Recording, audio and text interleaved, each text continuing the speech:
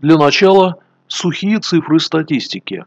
Левада-центр провел очередной опрос о том, кого россияне считают виновными в отравлении Скрипалей по прошествии времени.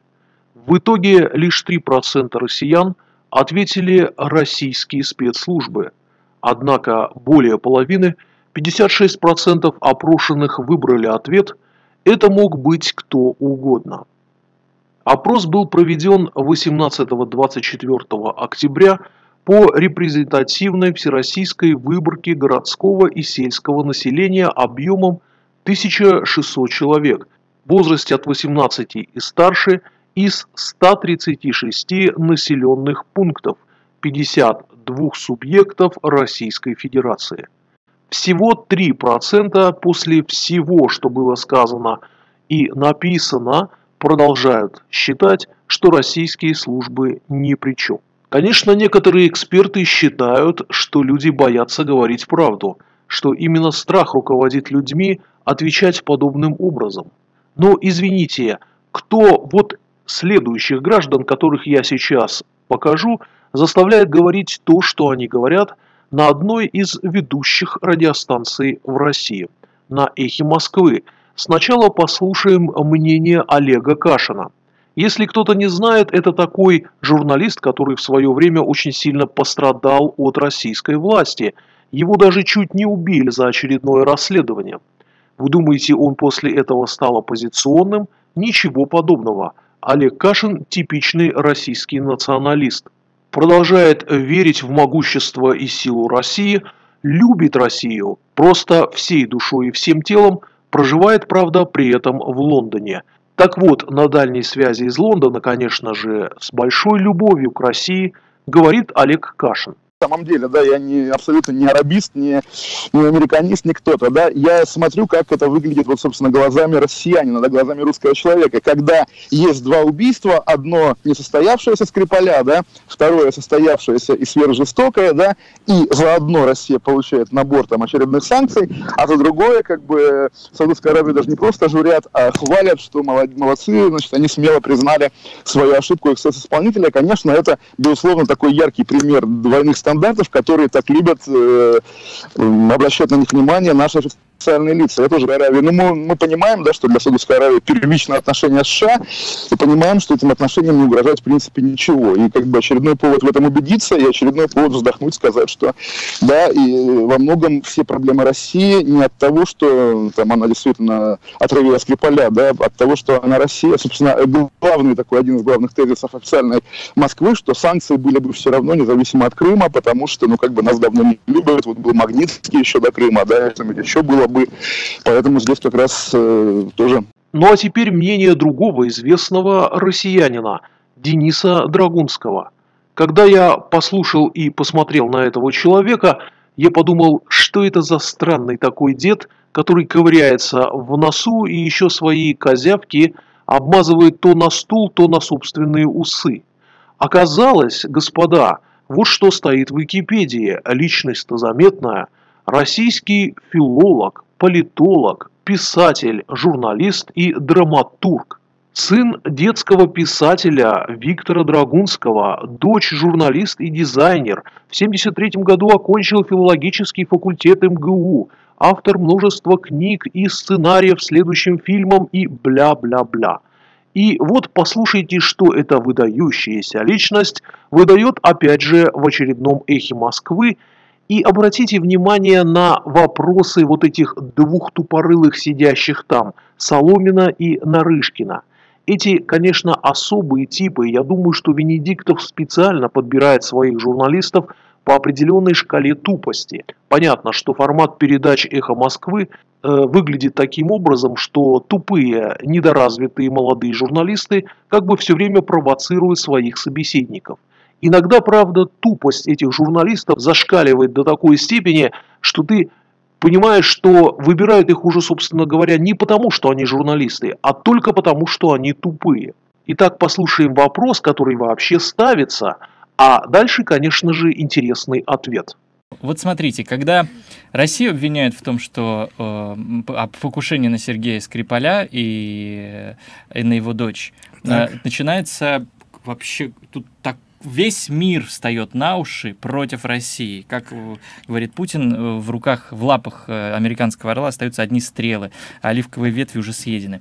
А в случае, когда Саудовская Аравия ну вот сейчас стоит тоже... за убийством э, своего Хашоджи подданного. этого самого. Ха, да. Ну вот сейчас только что я смотрел по экрану, на экране Трамп, так сказать, начал наконец все-таки открыл рот и, И- стал... И, И стал ругать. Индивидуальные санкции. Ну, come on. Будут, э, будут, аналогичные же будут, абсолютно. будут, будут.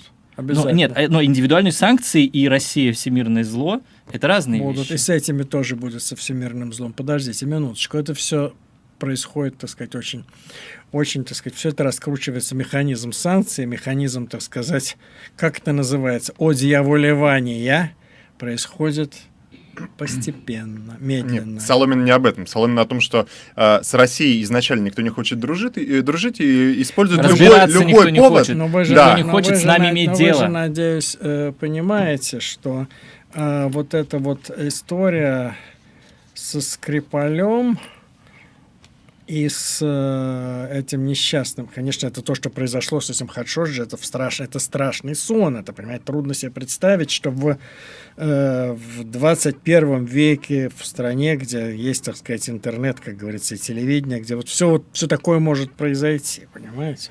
Но, но, вот давайте представим себе такое, вот если бы, например, скажем, Россия была бы союзником Соединенных Штатов. О, господи, что вы такое говорите? Ну вот вдруг, представьте, она была союзником, хотя бы такой, каким она, какой она была союзницей Соединенных Штатов, например, в период 41-40 практически шестого года. Подождите, а общий враг нужен. Вот, быть- подождите, я про это поговорю. Ну, общий враг, а пожалуйста, вот вам общий враг может быть та же, та же, допустим, какая-нибудь там радикальный мировой терроризм. Вот, была бы она союзником России, то, думаете, на этого Скрипаля бы... Ну, конечно, кто-нибудь бы сказал, а и нехорошо, как Скрипаля убили. Но никаких санкций бы, конечно, не было. Понимаете, все это внутри, все это происходит внутри больших политических рамок. Все это происходит. Не то, что вдруг Скрипаля пытались на покушение на него совершить, и тут же вдруг все стало плохо, и все возненавидели Россию. Да нет, конечно. Это в рамках большого какого-то процесса конфронтации, которая набирает силы, раскручивается по всем параметрам, по разным азимутам. Тут тебе одно, там тебе другое. Вот. И вот тут по- потом прицепились к такому яркой картинке, как вот со Скрипалем. все. Ну, это же понятно, я думаю, даже не смешно, что мы время на это тратим, на такие очень очевидные вещи. Ну, э, тем не Причем менее, всё равно- поговорили бы о чем-то таком. Да, Мы поговорим, у нас еще пол- полчаса не а живых каких-то проблемах, о том, что какой-нибудь там пьяный человек там велосипед сломал. Там, Про пьяных нас тоже будет. пьяные болельщики есть. Пьяные болельщики сломали эскалатор. Это же еще. гораздо интереснее. Обратили внимание, да, что человек, вот этот писатель, филолог, окончивший МГУ и прочее, говорит, ну о чем вы вообще? Давайте поговорим об интересных вещах. Например, о том, как пьяный человек поломал велосипед или о драке футболистов. Ну о каких скрипалях вообще речь? То есть его даже бесит этот вопрос. Ведь все же очевидно. России просто накладывают санкции, потому что, как говорит Олег Кашин, потому что она Россия, просто по факту, что вот есть Россия страна, и поэтому все, что происходит, только потому, что она Россия. Драгунский же точно так же считает, что если бы Россия была в союзницах с Соединенными Штатами, то, конечно же, никаких санкций не было. А речь, по сути, идет о простых вещах. Арабского журналиста Хашогу убили на территории консульства Саудовской Аравии. Это сейчас известный факт. Один из моих подписчиков прислал страшные фотографии. Э, Якобы с него сняли скальп и полностью вырезали половые органы. Я не выкладываю эту фотографию, потому что не верю, что она настоящая. Ну и, ну и потом ролики с такими фотографиями будут, конечно, забанены. Как бы там ни было, вся иностранная пресса пишет о том, что это ужасное происшествие. Человек зашел на территорию консульства, он, он должен был взять или оформить какие-то документы, потому что собирался жениться, и больше из дверей консульства он не вышел, его убили. Дальше турецкие власти расследовали и доказали, что убийство именно было на территории посольства. И вот это убийство сравнивается не только в этих передачах, но я еще в нескольких местах слышал сравнивают с Скрипалями и задаются вот таким вот праведным вопросом. Как же так? Ведь Хадшогу убили, Скрипаля почти не убили, здесь санкции, а тут санкций никаких нет. Объясните господину Кашину, проживающему сейчас в Великобритании. Дело в том, что эти люди даже не пытаются сравнить методы убийства. Ведь Скрипаля, господа, и в этом самая главная причина наложения санкций. Убивали химическим оружием – был произведен террористический акт против государства Великобритании, потому что на ее территории два непонятных человека применили смертоносное химическое оружие. И в результате погиб не тот человек, которого они хотели убить, а гражданка Великобритании. Точка с запятой. Можно еще добавить, что несколькими годами раньше там же в Великобритании применили другое химическое вещество полоний и убрали своего очередного гражданина. И речь идет о том, что вот этими своими действиями они угрожают населению этой страны. Ведь никто не знает до конца, как действуют эти вещества. Кто-то мог отравиться в гостинице при контакте с этими людьми, дальше при контакте с Скрипалями в больнице, врачи, медсестры и прочее – Вообще люди понимают, что такое химическое оружие и что такое элементарно нож, пущенный против одного человека. То есть эти две вещи нельзя сравнивать. Хашогу убили, даже если его расчленили на территории посольства определенной страны, то есть не за пределами, не в самой стране. А Скрипаля убили на территории страны смертоносным оружием, непонятного происхождения. Такие вещи невозможно сравнивать. Сказать, что у англичан огромное терпение, это не сказать ничего. Ведь нужно было накладывать санкции еще тогда, после убийства Литвиненко.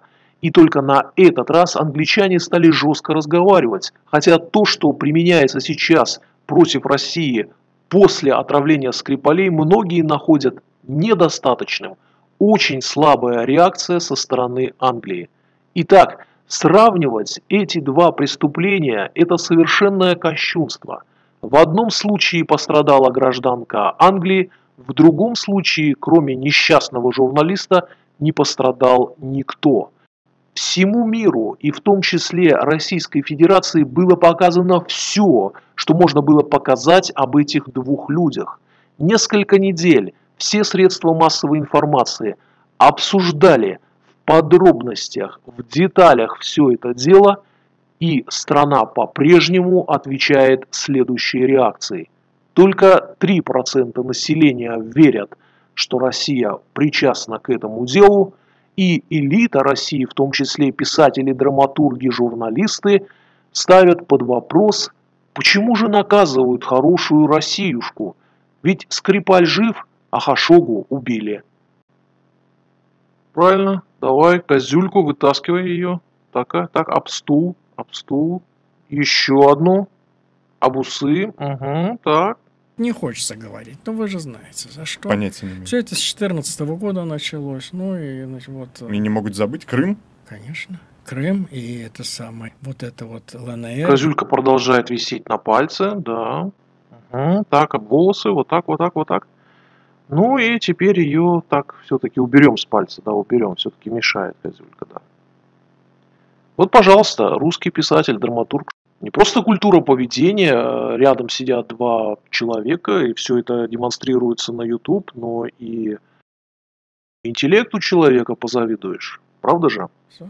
Ну, это же понятно, я думаю, даже не смешно, что мы время на это тратим, на такие очень очевидные вещи. Ну, э, тем не Причем менее, всё равно- поговорили бы о чем-то таком. А Мы поговорим, у нас еще пол- полчаса не волнуйтесь, а живых успеем. каких-то проблемах, о том, что какой-нибудь там пьяный человек там велосипед сломал. Там, Про У пьяных нас тоже будет. пьяные болельщики есть. Пьяные болельщики сломали эскалатор, Саратов это же еще. гораздо интереснее. этот народ, Акашин и Драгунский – это представители интеллигенции этого народа, так сказать, мозги. Эти люди либо сшиты так, то есть генетически, либо образование в МГУ настолько дерьмовое, либо, я уже подозреваю, может быть, их там облучают каким-то особым образом, но эти люди непрошибаемы.